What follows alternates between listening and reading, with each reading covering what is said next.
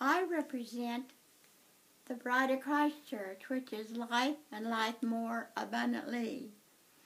And we are living in the time of the coming of our bridegroom. And we are not in love with the undertaker. And the Bible said, the dead in Christ shall rise first, and those of us that are alive and remain shall be caught up together with them forever to be with the Lord. Now that is is the group I belong to is preparing the bride of Christ for him the bridegroom. And I have nothing to do with death or funerals or graves. I have nothing to do with that. But life and life more abundantly is preparing the bride of Christ church for the coming of the bridegroom.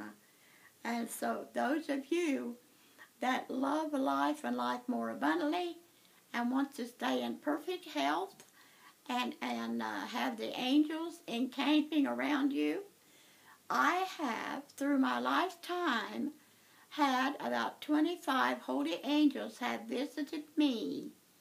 And a whole choir of angels came down from heaven when I was about 21, and they were singing this song. It was about 2 o'clock in the morning, and they were hovering over my house on Cherry Grove Road up by Jamestown, Ohio, and they were singing this song like, Brighten the corner where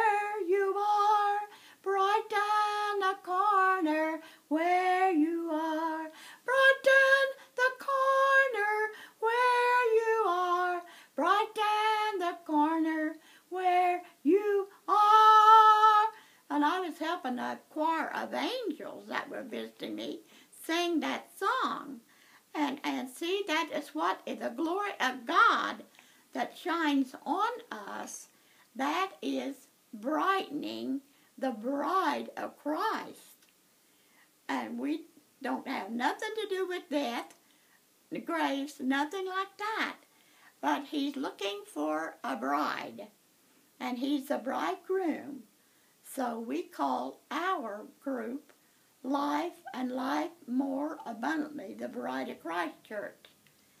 So I just wanted people to know that that we are expecting the bridegroom to come and we're not laying in no graves because the Bible said he tasted death for every man.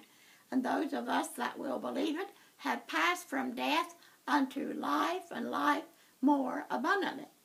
And that's the name of my ministry is life and life more abundantly. Okay?